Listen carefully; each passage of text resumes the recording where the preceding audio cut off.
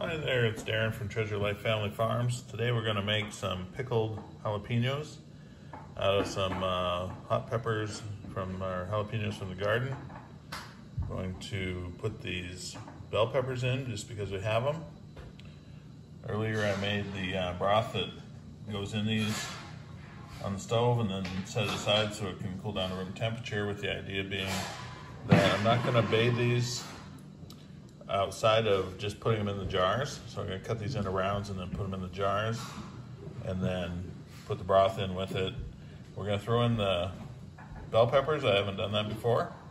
And we're gonna try, try those out in little slivers. So this is uh, kind of the first part and then we'll add to it as we make progress. All right, we're pretty much done slicing the uh, jalapenos. I sliced up a little onion and also I'm only gonna use just so much of that green pepper, otherwise we'd have just jars full of green pepper.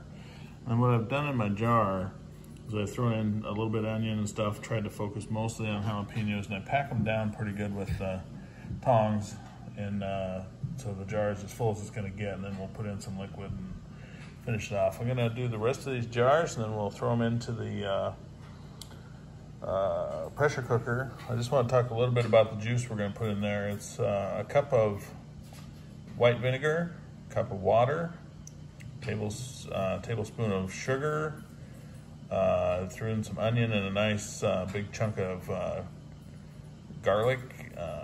some people do just cloves. I did minced.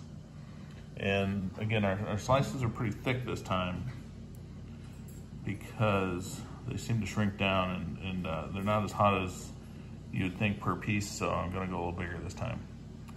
All right, we're making some good uh, progress here. We'll be in the pressure cooker next we look. All right, and uh, we're done with the pressure canning process. The uh, We made five jars, there's one in the back there. And I think they look pretty good. Well, we haven't uh, tasted them yet. And what I'm gonna do is I'm gonna leave them about at least a week or so and uh, let them marinate or whatever they do here. Then open one up and see how that tastes. This first jar on the end is the last batch we made. We did a, a bit of a more traditional soak in the uh, pot for about 15 minutes before we pressure cooked them and I think they got too soft. So we cut these ones bigger and we canned them, we cooked them right in the canner, canner. we didn't uh, soak them in the hot bath first. So we'll see how that difference is. So what, what I'm gonna do is open up uh, this jar here. We'll start eating that, and when we get done, we'll open up one of these other ones and see what we got.